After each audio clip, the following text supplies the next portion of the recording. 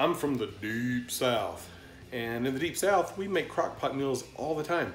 Uh, in fact, you probably saw me just put a bunch of vegetables in there and some rice and some beef and some chicken livers, and we're good to go. And that would be a good stew, and I would eat it. And I probably could eat it, and I'll probably try it. However, uh, our dog Bosco, he's 13 years old and losing some of his teeth. So the hard dog food that you saw in the intro really hurts his teeth. He'll eat it from time to time, um, but for the most part, the he loves the soft food. We were buying these rolls of uh, soft food, about $12.99 um, at Target because it's more expensive at, at the grocery store. But anyway, uh, and he loved them. And so my wife looked up our dog food, a homemade dog food recipe, and he loves it. We bag it up. It makes about five five days worth of meals for him. He eats about twice a day, and uh, and yeah. So we're making dog food, our homemade dog food. We save about four dollars after everything's said and done. My wife ran the numbers, saving four bucks a week because he was eating like a whole roll of that stuff uh, every week. So yeah, we're making homemade dog food, and I'm making some rolls over here. But first, I'm gonna try. Uh, Tillamook's Marionberry. Never had it. Sounds pretty good. I'm gonna uh, hope there's not seeds in it. All right. Well, that's it. Making homemade dog food. Talk to you guys. Oh, uh, the recipe.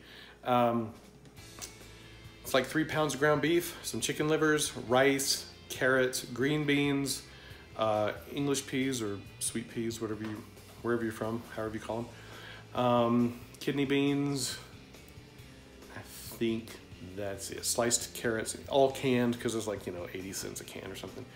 Um, drain them, four cups of water. And for the rice, we put it on low for about 10 hours. Oh, I almost forgot. This, this is huge. I think, I'm glad I'm doing the vlog because I just remembered I got to put in I forgot to put in his eggshells. We've been saving our eggshells and so look here. So we have eggshells. I got to crush those up, put those in. Those are a great source of potassium for him. So that might help his teeth too. All right. Well, until next time, homemade dog food. Go Team Chisholm.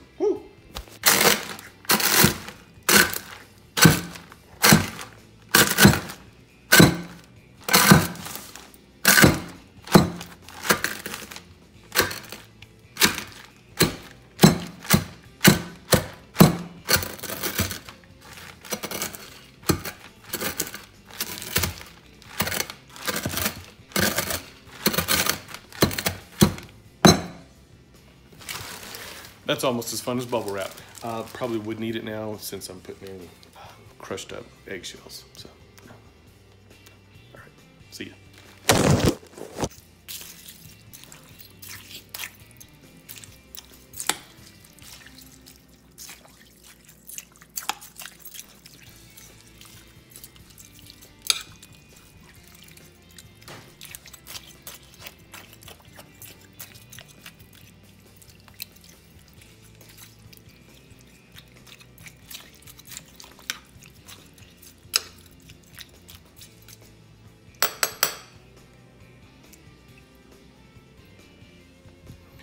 Just kidding.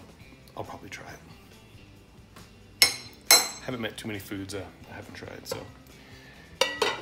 And I've eaten a lot of weird stuff. All right. Thanks for watching. See you next time. I just gotta, just gotta wait 10 hours. Did I mention this will be a 10 hour vlog?